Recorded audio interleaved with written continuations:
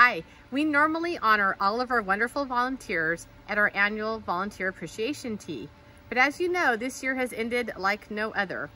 I wanted to take a few minutes to let you know how sincerely thankful we are for your help and we appreciate all that you have done.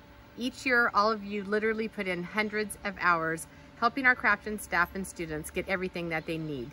We really appreciate it and we want to thank you for helping us. You are appreciated.